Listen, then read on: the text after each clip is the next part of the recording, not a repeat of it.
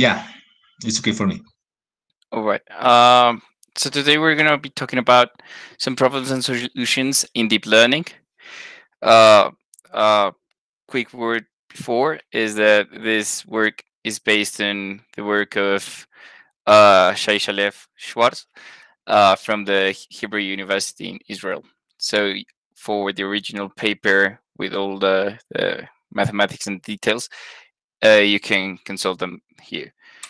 Uh, so first we're going to talk about neural networks because uh, that's our main focus. And neural networks gets confused with artificial intelligence and machine learning, uh, but they're different things. So first thing is to differentiate between artificial intelligence as agents, uh, machine learning as an algorithm that uh, expects to teach uh, an algorithm with data, and deep learning, which is a technique in machine learning using uh, deep neural networks.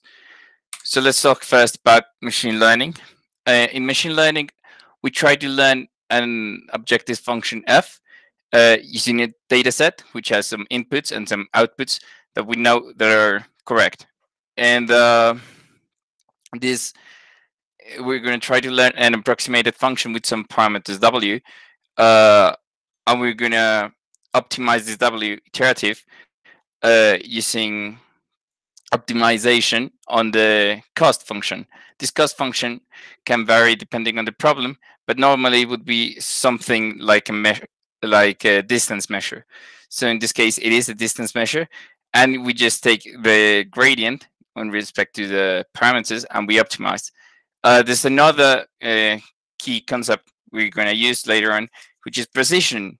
Uh, so once we know uh, we have uh, an approximated function, we might want to know how well it's performing. Uh, this precision tells us just that, uh, how much of uh, of the percentage of the answers were correct. The how the neural networks work. So neural networks are part of, of, of machine learning. So they optimize and work in a similar manner. So uh, the way we optimize for uh, other uh, machine learning techniques is very similar. In this case, uh, the main difference is how we structure our uh, our system, uh, which is based on neurons. These neurons are based on this linear transformation and then an activation function, which cannot be linear.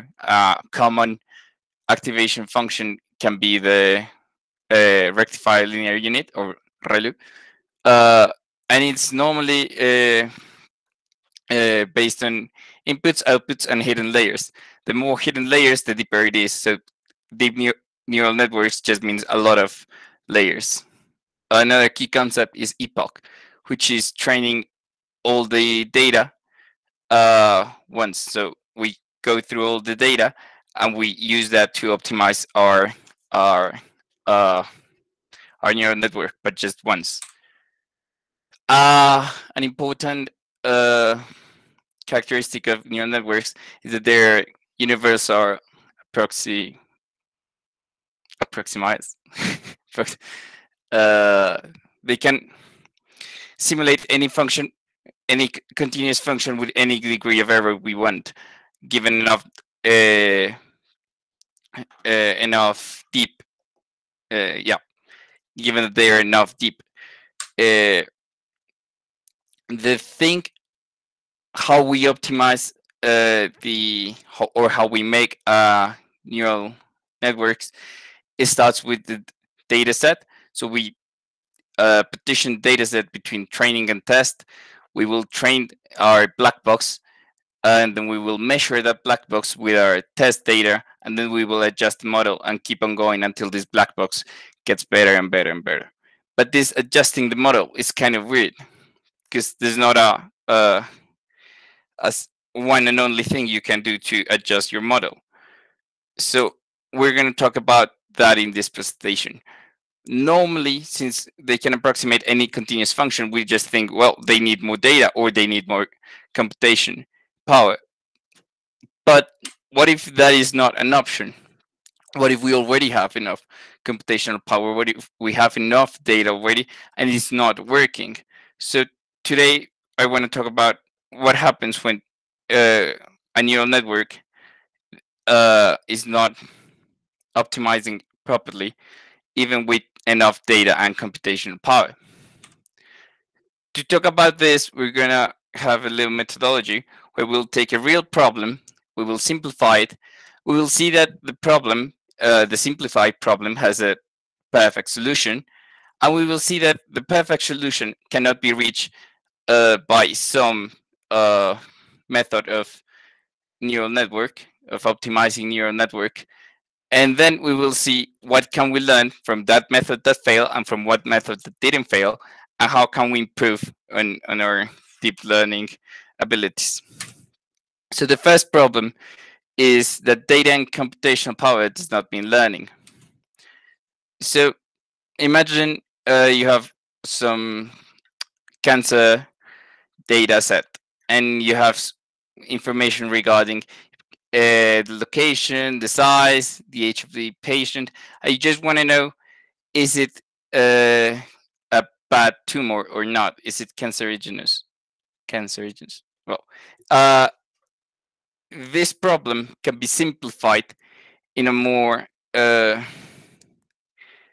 easy to handle manner by the parity problem, which is just we have some neurons, uh, I mean some some vector, binary vector, which is consisting of one and zeros, and now we're gonna see if it's an odd or an even number of ones. So here will be one, two, three, four, even. But now we're gonna complicate things using a mask. So we will have uh, only counting the ones with masks. So one, this one doesn't count. Two, this one doesn't count. Again, even. And this problem will give us an opportunity to look at the other uh, problem, which is just a classification problem in one and zero, but in a more, much more uh, easy way. So formal definition would be that having binary vectors, we will take the inner product and elevate minus one to that inner product. Uh, the thing about this problem is that it can be solved with one hidden layer. We only need one hidden layer and it will be solved perfectly. You can make the the, the weights, uh, you can choose them in order to make them perfect. Uh, so since there is a solution and there is enough data, it's just a matter of giving it enough computational power, right? But the answer is not really. When you use different optimizers, uh, the answer, the the the neural net will not always come to the same answer. So using some common uh, optimizer like a stochastic gradient descent here in orange, you can see it never went above uh, 0.5, meaning it was always random. While using some other optimizer like Adam, uh, it went almost perfect accuracy. So there's a difference between using uh, different optimizers and getting the result, even if they have the same computational power, even if you leave them for months and months and months, some optimizers will just never optimize. And uh, we can see the difference in the parameters change. So here we're seeing how much did one parameter change from one step to the other. In the case of Adam, it it shows that it changed a lot comparing to a stochastic gradient descent. So we might think that a stochastic gradient descent is not changing enough. And that would be correct. Uh, if we change the learning rate at the beginning and make it slowly decrease, it will uh, give it enough learning capabilities to learn at the start, but then don't fall into noise because this is just noise. So we have to decrease against the learning rate in order to make it uh, uh, learn uh, a good neural net. Um, so here we learn that only data and computational power is not enough. We need a good optimizer and an optimizer that is good for our, our specific problem, not just any optimizer. And that uh, hyperparameters matter. So learning rates in case of Adam is like beta 1, beta 2. Those things matter and they might affect if your neural net learns or not. Next problem is uh, neural networks from end to end are problematic. So let's think of a problem of a self-driving car. Uh, we might want to say, okay, there's some people walking on the street, and I want to know if I should stop the car or not. So that's a problem. We have some people on the street, and we want to know should I go or not. Tell me if there's people on the street. There's one way when we can just put the neural net to learn when there's people on the street and when there's not people on the street, and it might work, but it will not give us uh, the result and and uh, an interpretation interpretability that we're expecting from it. So we'll see that with a simple example. Let's think of uh, a line. This is a line, a pixelated line, but a line. It's going downwards, so we will say it has a minus one. This one's going upwards, so we will say this one has a one. Uh, and now we're thinking, well, I want to solve for two images if it's uh, the parity problem. So how many ones there is. Uh, simple problem. I could just give two images uh, on top of each other, train the neural network with the end result, and that would be it. But there's another solution, which is decomposing the problem. We know there's a step in the middle here, which is identifying uh, the slope of the line. In this case, we want to first learn the slope and then solve the parity problem. When we do the, when we do that, we have this this composition problem where we have uh, the accuracy for the first image, the accuracy for the second image, and the final accuracy. And it learns uh, fairly quickly and fairly well. On other, uh, on the other side, when we start with just the parity problem and we do not give it in insights about how to solve it, it will sometimes work, and in this case, very fast and very well, and sometimes it won't. With the same data, with the same uh, optimizer, with same architecture, it won't work because it's not able to uh, have that clue that the other uh, neural network had.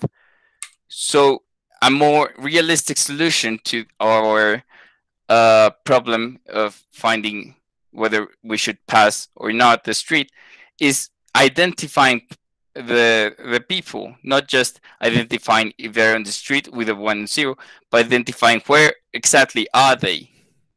So decomposing the problem, even if it's a lengthier process, it's more interpretable, and that's uh, the next learning that we have decomposing is key to uh, to making a, a, a good neural network. The next problem is that a bad architecture uh, implies extra time. And here, uh, the thing is that we normally think of bad architecture as something that just won't work.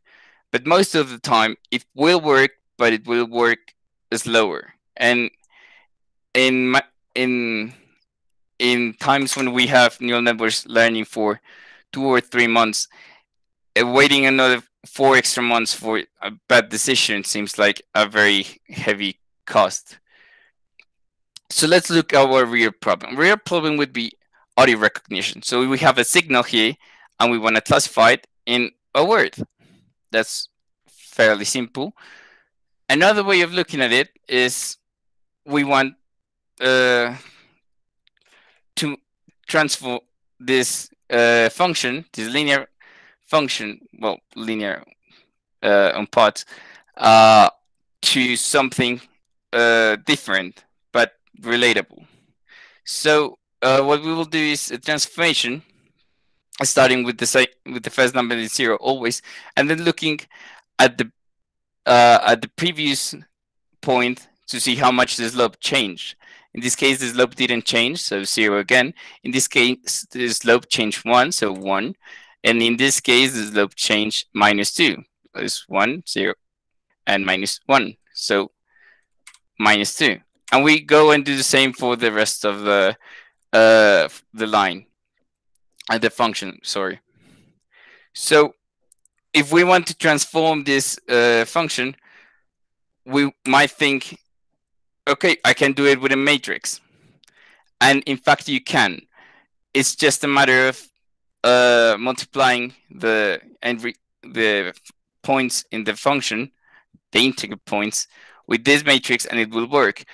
But uh, this matrix has a characteristic, the uh, a particularity, sorry, that uh, it's more of a convolution that really a matrix multiplication. So we could use convolutional neural networks, and that's exactly what we're gonna do. So on one one side, we have using a dense neural network, which will have to learn that complicated matrix. Then we have a convolutional neural network uh, that only need three parameters and it will achieve perfect score. And then we have a deep learning approach. So deep learning and dense neural networks did not perform as well and spend more time optimizing and wait a lot more since they have more parameters. So the architecture here this not only means that it will not work, because dense will eventually get perfect, but it will not uh, uh, do it in the same amount of time as a good architecture would. So the next thing we learn is that a good architecture helps us with time. Uh, lastly, at the start, I mentioned how all, all of this is based on gradient. So we take a gradient of some cost function, and that's about it. But in reality, gradient of descent is not the only way of optimizing, and not the only way of optimizing neural networks for that matter. So let's think of um, classifying people according to uh, their economical status. So we have uh, one, two, three, four, five, six. More people in two and three than there's in six, and it's a blurry line, right? When exactly does the amount of income represents uh going up in the in the hierarchy? So we're going to represent that with this function which is uh, a floor function, but only in certain numbers. So only in 17, on 20.5, uh, 23 point something, only then is going to go to floor of selected numbers. And now we're going to take a, a, a linear function and pass it through here. We know that we can uh, solve this fairly easy because it is a somewhat continuous function. But let's look at what happens. So if we take it as a regression problem, it will have a lot of problems with uh, the the limits.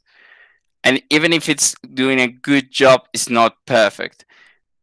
With uh, a multi-class approach, it just doesn't care about the small uh, uh, the small data sets but we have an alternative method, which is not based on gradient descent, which actually optimizes uh, faster, which takes into account the, the smaller uh, stat hierarchy status, and uh, it it optimizes faster and better. So our last uh, tip would be that a different optimizer might uh, be a good option but this is more for uh, future work since you cannot just take any uh, there's no library to just implement it straight on on your neural network. Lastly as a conclusion i want to say that data and computational power is not everything when it comes to neural networks. There's other things that matter. There's architecture there's uh, how do you assemble your data? And we've seen that through this presentation. So I want you to leave knowing that you need more than just brute force the problem. Thank you. Yeah, very nice. Okay, great. Okay, uh, uh, do you have any question? Okay, I, I have one first one comment and then one question. Uh, the first comment is that uh, when uh, when when the people goes to neural networks, the, the main um, the, the main task is uh, trying and trying different architectures, and most of the time they don't have any clue how to proceed with the problems they have, and this is one of the the the reasons because we need to develop a theory around this this this stuff because we are losing a lot of uh, energy, a lot of money, a lot of time just uh, fishing uh, in, in, in these large uh, neuronal network architectures. These kind of tips uh, that uh, Gabriel was, was telling us are quite useful if you try to deal with a real problem. And the nice thing is that those those those tips are based on a grounded theory there is a there is a, a theorem that basically say that you can solve this parity problem uh, based on the uh, on, on, on neuronal networks and, and, and, and if you have the, the, the true solution then something uh, some, you are missing something when you are uh, working with this stuff. Uh, i mean with the with the real use of neuronal networks and that, that's very nice because I, I think this this this should be one of the uses of the mathematics and uh, mathematics should be there just to make good solutions. And this is just the the the the the, the, the, uh, the peak of the, the kind of things uh, theory can do for machine learning there are a lot of problems that are still there and uh, as soon as we start to solve these problems uh, probably we will uh, we will use these these things properly because right now things we have like like are like frankenstein's millions and millions of parameters and we basically buy a lot of hardware just to optimize these things and uh, yeah it works but uh, which is the cost of making this is you, if you can do good theory just to uh, have good decisions. Okay this is this is like one message. And uh, I, I, I, was thinking that this this this this kind of messages that it's quite uh, are important and just in the presentation. No but you you already have it here in the conclusion. And you you no th there is no question for my side. Okay any question? Juan Sebastian have a question. Yes. Thank you Gabriel for your presentation it was fantastic work I want to know more details about the the composition phase uh, I, I don't have clear how, how works the workflow for the for this phase of the composition. I don't know if, if you need some prior knowledge from an expert, uh, tagging, or how, how to how how works this phase of the composition.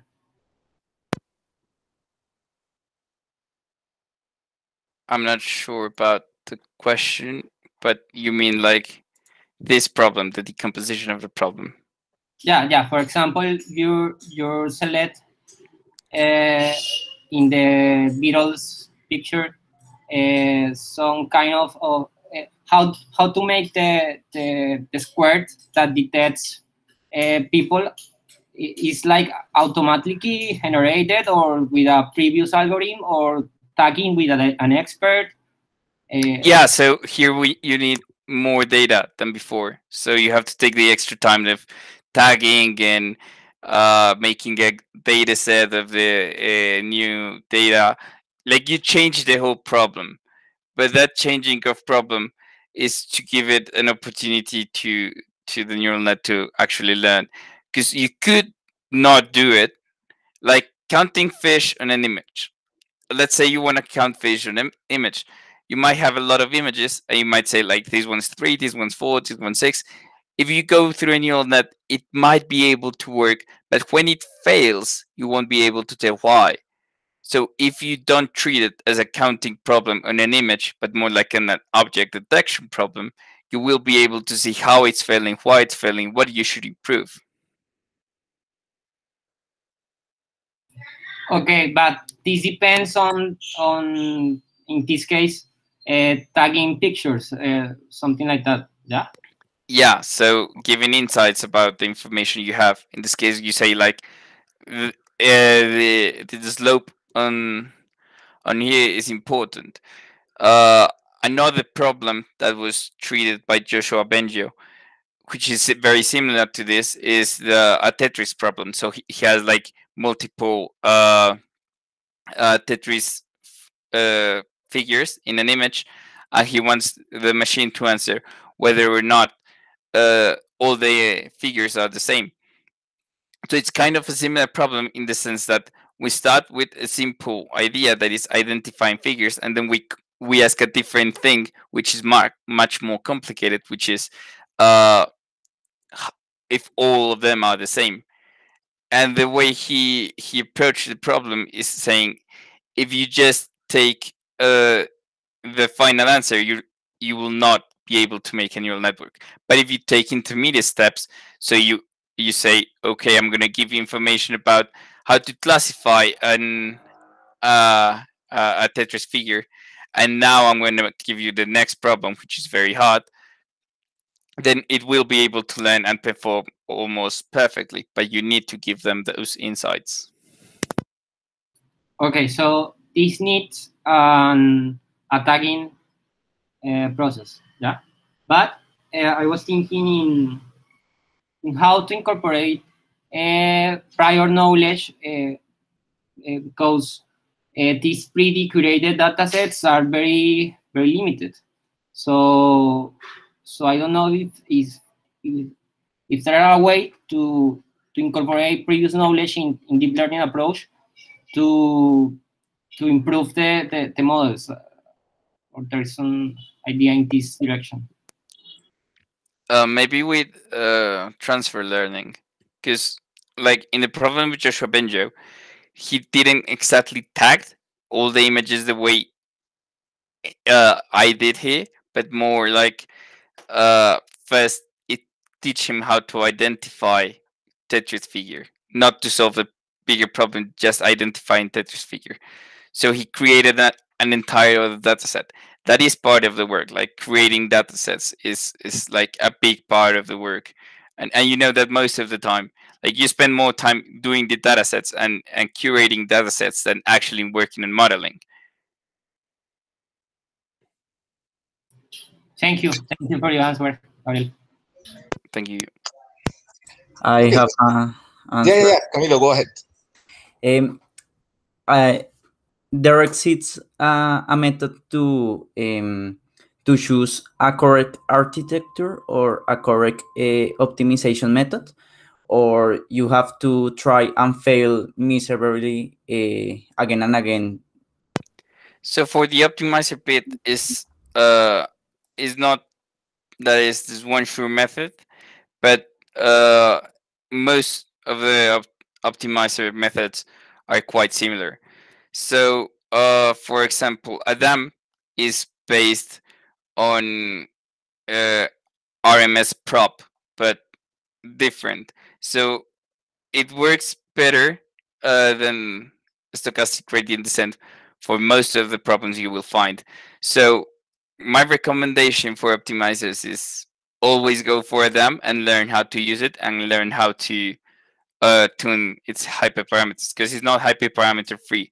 It's still like a beta one and like a beta two, and you go like, what is a beta? So you need to understand what it's doing and how you should interact with it. For the architecture bit, uh, it's it's a little bit more complicated because there's not one sure method where you say like, all right, this is uh, definitely what we should do. In this case, is structured data, and when you have a structured data, you normally don't use uh, a neural network. But most of the time that you're using neural networks, you're using it on something that's already been used. So images, audio files, something like that. In that case, or time sequences. In that case, you should look at the literature of what they're using and how they got the results.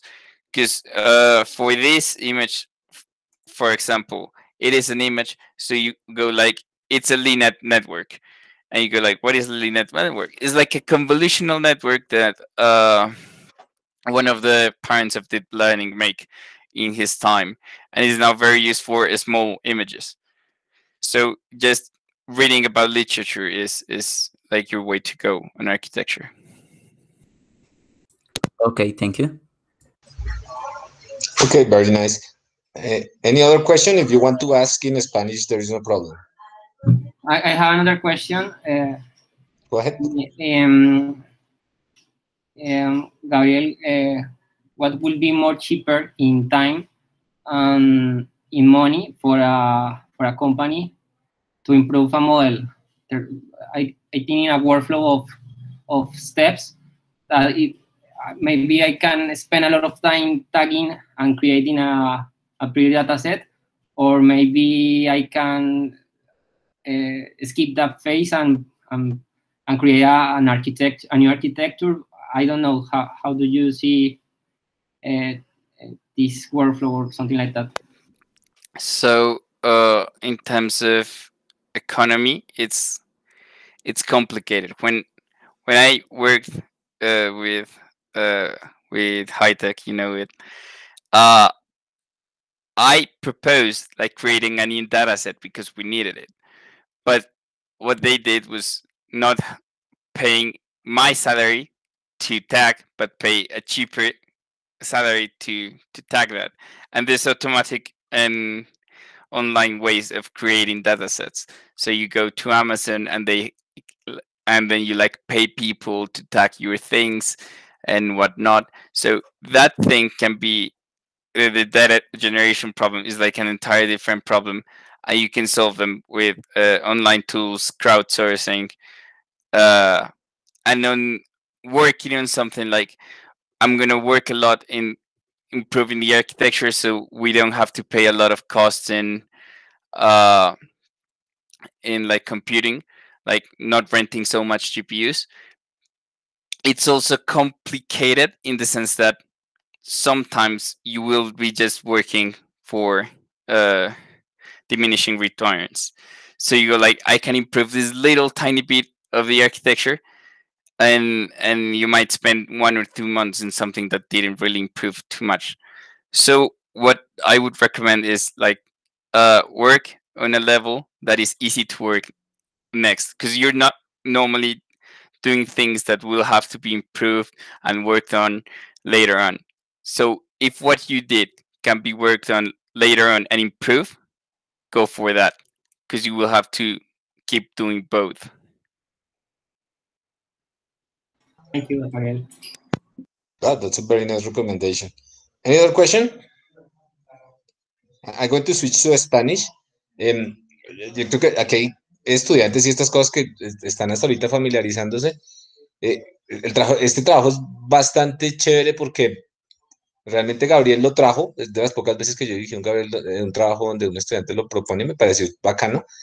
Y lo trajo porque Gabriel eh, arrancó hace algún tiempo, eh, o sea, estaba en la universidad y empezó a trabajar con nosotros, lo mismo que eh, Juan Sebastián, esta cosa, y Gabriel se movió a la industria a hacer un internship y, y, y, duró siempre un tiempo allá y estaba haciendo cosas de estas y, y tal vez me gustaría preguntarle, eh, primero, ¿cuál fue su experiencia trabajando? Porque es muy importante, ¿cuál fue su experiencia trabajando en la industria y por qué, por qué encontró y por qué propuso ese problema que me pareció de entrada bastante extraño? pero lo sacó adelante y estaba complicada la cosa porque no se veía tan claro, tan claro por dónde iba el agua al molino. Pero me gustaría que, y sobre todo en español, que nos comentara un poco su experiencia moviéndose a la industria, haciendo cosas de estas, y, y por qué quiso traer el trabajo, que nunca le pregunté eso. Y dije que sí, porque lo conozco, pero, eh, pero me pareció raro. Eh, con, con lo de la industria, pues bueno, en realidad el que primero me acercó a la industria fue su merced. Siempre eh, como que tenía cosas ahí por hacer y necesitaba estudiantes. Y bueno, después que fue como cuando estuve un poquito más independiente en Twilio, que era una empresita más grande que las otras. Eh, una empresita, pero esa cosa tiene, ¿cuántos empleados tiene esa vaina? Como 3000. Por eso, es, es, que yo nunca entendí que hace esa cosa, pero ganan mucha plata. Eso es lo que hacen, es como, como que tienen unos paquetes ahí para cosas de comunicación. Yo nunca les entendí eso que tengo por... Sí, es eh, ayudarle a las empresas a enviar mensajes de textos, correos, llamadas, como cuando usted le pide un Rappi y le dice como, eh, tu Rappi te está esperando, por favor revisa el app, que lo llaman a uno. Eso lo hace Uno, o cuando uno se va a meter algo y le mandan un código de verificación. El equipo en donde yo trabajaba era los que enviaban esos códigos de verificación. Eh, y, y, pues ahí lo que aprendí fue a ser, organizado. Esa gente piensa mucho en, no tanto en qué tanto lo, lo, qué tan rápido lo puedo hacer, sino qué tan mantenible lo puedo hacer. Entonces, si uno va a hacer algo, tiene que pasar por muchos protocolos para que no dañe absolutamente nada y además para que cuando llegue alguien que no sepa del tema pueda verlo y decir como listo, por aquí es. Eso fue como lo principal que nosotros casi no teníamos en cuenta, como que siempre teníamos un deadline y decíamos, le damos con toda, terminamos el deadline y, y nos olvidamos de eso. Eh, ahí era más de mantenimiento y de meter features de a poquito, pero más que todo mantener el servicio estable. Y en cuanto al problema, eh, no sé, es que cuando comencé con, con redes neuronales, fue, fue extraño porque simplemente me, me, me botó a un, a un problema que, que, necesitaba redes neuronales y me dijo, esas son redes neuronales convolucionales. Y, y, le di muchas vueltas, mucho tiempo y no sabía por dónde avanzar. Entonces dije... ¿Cuál, el problema de las hojitas, ¿cierto? Sí. Sí. eh, entonces dije, algún día tengo que, que mirar cómo uno debería analizar eso detenidamente. Y, y bueno, encontré ese artículo, me gustó mucho y, y, lo trabajé. Listo, chévere. Gabriel es un buen ejemplo de que la teoría y la, y la práctica no son cosas diferentes. O sea, si uno quiere hacer cosas, tiene que tener una buena fundamentación teórica y la teoría, generalmente la buena teoría va de la mano de problemáticas interesantes. Por ejemplo, este artículo de Gabriel, eso es un, grupo súper, súper reputado y eso es estado del arte, el que revisó Gabriel, el que reprodujo ese estado del arte en, en Machine Learning. O sea, esos tipos son los que están moviendo esa cosa y no se, no lo hacen, por ejemplo, lo que voy a decir, fumándose la verde, sino lo hacen pegado a problemas que, que realmente tienen sentido y cada una de esas cosas se convierte en, en dinero eh, y, y, tiene unos desarrollos teóricos bastante interesantes por detrás. Entonces, eh, yo creo que la última vez que, que yo quería dar las gracias a Gabriel, porque Gabriel ahorita se va y después yo creo que se va a quedar allá. Algo me lo dice entonces, seguramente muy poca, se va a ser una de las últimas presentaciones que va a hacer como estudiante acá. Eh, ha sido muy bacano trabajar con Gabriel durante estos años, me ha enseñado un montón, ¿no? Eh, y, y, es muy chévere ver cómo, cómo, cómo, ha crecido y cómo ha avanzado. Eh, y nada, darle las gracias por, por, por, el, por el tiempo que pasó con nosotros y esperar que cuando regrese o si se queda por allá, pues no, no pierda el contacto y, y que siga aprendiendo porque o sea, de esas personas que uno dice, uy, este man puede llegar súper, súper lejos. Eh, y hay, hay, muchos en el grupo así, pero usted es una de esas personas que dice, uy, este man, yo lo veo en unos años en un sitio bastante bueno o dirigiendo una empresa o haciendo cosas muy bacanas, sobre todo que lo hagan feliz. ¿Listo, Gabriel? Porque ya después lo va a tener la oportunidad de decirle eso y, y yo creo que lo que les decía, eh, Gabriel, es esos ejemplos donde uno dice, este man hace las cosas bien hechas y le gusta lo que hace. Gracias, Gabriel. No, profe, gracias a usted. ¿Cuánto tiempo invertí en mí? Eh, no, igual eh, cuando, cuando termine eso, su Mercedes sigue siendo mi tutor y haré esta presentación de lo que hice allá. Ah, bueno, bueno. Pero bueno, no, pero ya usted sale y si sale como el primer científico de la computación del país, pues eso sería severo, para, perdón por la expresión, pero eso es severo logro. Porque usted de esos más que uno dice, este tipo gente como ustedes no existía antes de que el programa se creara. Hay gente que sea capaz de hacer matemáticas, de echar código y que haya una empresa y entienda cómo se hacen las cosas. Ese es el sentido de un matemático aplicado o un científico de la computación. Y esa es la generación de gente que tenemos que formar porque ustedes son los que van a, a mover la tecnología eh, ya cuando nosotros ya, ya vayamos de salida, ustedes son los que van a mover esto. Listo, muchísimas gracias a todos. Si hay preguntas, comentarios, ¿Listo? Entonces, la, la, siguiente semana está la presentación de Gabriel. Yo no tengo comentarios adicionales. El tiempo creo que está bien manejado. Eh, y nos vemos la otra semana, Gabriel. Y vale, me está profe. contando lo que necesite para lo del viaje. ¿Listo? Listo, profe. Profe, una última cosa. ¿Cuándo hay que enviar el documento? Ya le acabo de enviar un correo diciendo todo. Ah, listo, vale. Muchas gracias. Listo. Bueno, bueno. Entonces, saludos a todos. Gracias. Gracias a todos. Gracias. gracias.